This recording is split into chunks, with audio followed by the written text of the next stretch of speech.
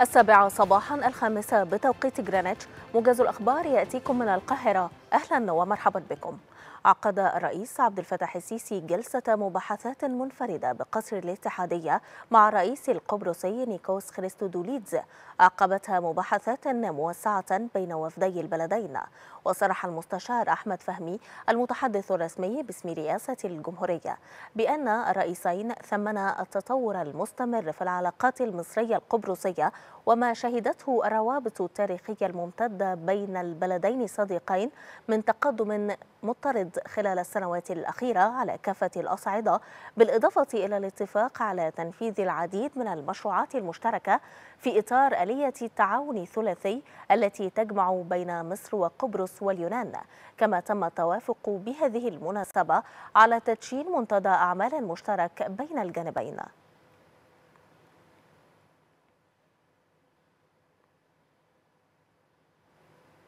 وخلال مؤتمر صحفي مشترك بقصر الاتحادية أعرب الرئيس السيسي عن سعادته البالغة باستقبال الرئيس القبرصي نيكوس خريستودوليدس والترحيب بزيارته الأولى لمصر بعد انتخابه رئيسا لقبرص.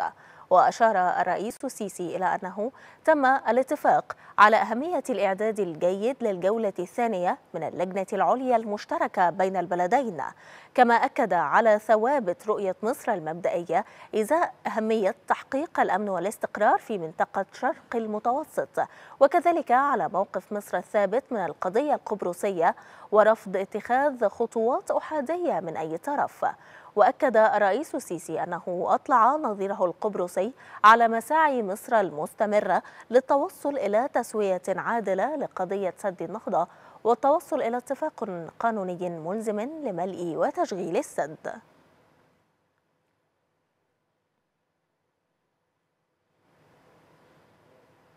يعقد مجلس الأمن الدولي اليوم الخميس جلسة طارئة لمناقشة الانتهاكات الإسرائيلية في القدس المحتلة وذلك بطلب أردني فلسطيني مشترك وبالتنسيق مع الإمارات والصين بحسب وكالة الأنباء الأردنية الرسمية باترا.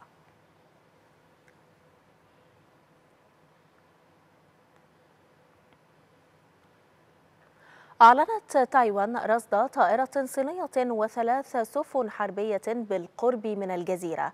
جاء ذلك بعدما أعلنت وزارة الدفاع الصينية أنه تم وضع الجيش في حالة تأهب قصوى وذلك بعد اجتماع رئيسة تايوان تسانغوين مع رئيس مجلس النواب الأمريكي كيفن مكارثي كما نددت الخارجية الصينية بهذا اللقاء وأكدت أن بكين ستتخذ تدابير حازمة وفعالة لحماية سيادتها الوطنية وسلامة أراضيها في أعقاب التواطؤ الخاطئ بشكل خطير بين الولايات المتحدة وتايوان.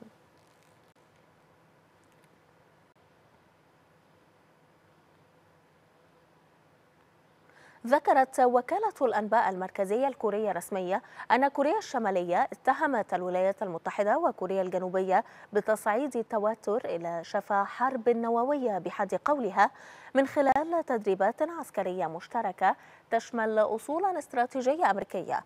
وقالت الوكالة أن تلك التدريبات تجاوزت حد التسامح لدى كوريا الشمالية معلنة أن بيونغ يانغ سترد من خلال عمل هجومي.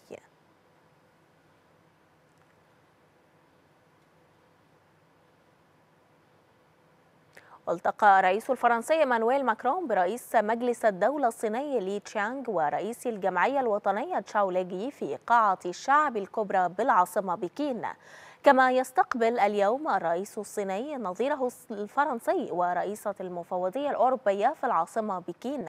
وكان الرئيس الفرنسي قد أكد في مؤتمر صحفي عقب وصوله بكين أن الحوار مع الصين مهم وأنه لا يمكن السماح لروسيا بإجراء حوار حصري مع بكين.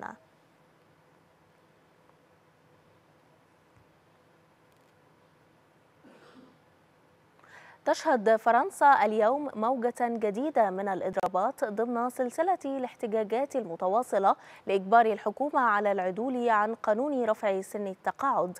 وكانت النقابات العمالية قد أعلنت فشل المحادثات مع رئيسة الوزراء إليزابيث سابورن حول إصلاح نظام التقاعد. وقال بيان للنقابات إنهم أكدوا خلال الاجتماع على ضرورة سحب قانون تعديل نظام التقاعد.